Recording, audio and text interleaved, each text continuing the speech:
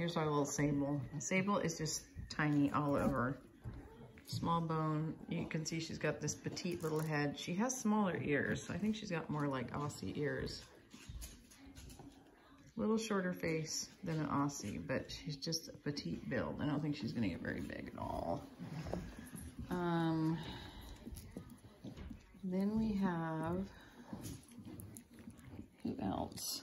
I'm trying to compare here. Sorry, picking up puppy and a camera. So this is, oops, sorry. I'm trying to move my feet, not squish puppies. This is Miss Navy. So Navy also has a little bit smaller ears, more Aussie, although they're not as tiny as Sables.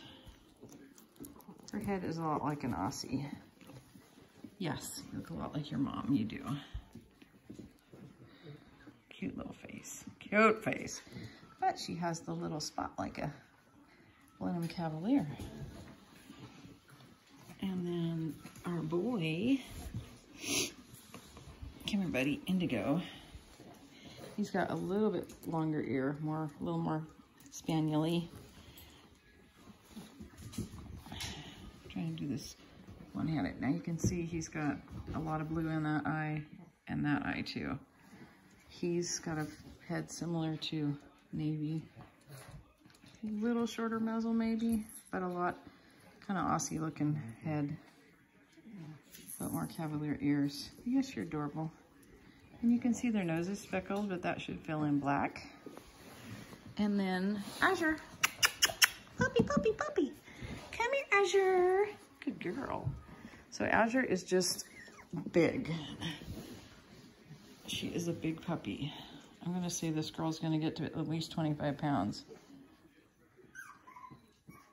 She's got a nice stocky little head. Probably more of a Cavalier head. A little shorter muzzle. Just a blockier little head. Got the more of the Cavalier ears. Bigger boned. Huh, you just built like a little tank. She's just adorable. She's just adorable. It looks like she's gonna have some blue in that eye too. It's hard to tell when they're little. This eye looks a little darker. That looks like it might have... Come here, baby. I'm trying to see your eyeball. Yeah, I think that eye's gonna be mostly blue. Oh, and I forgot to check. My video's getting long. Do another one.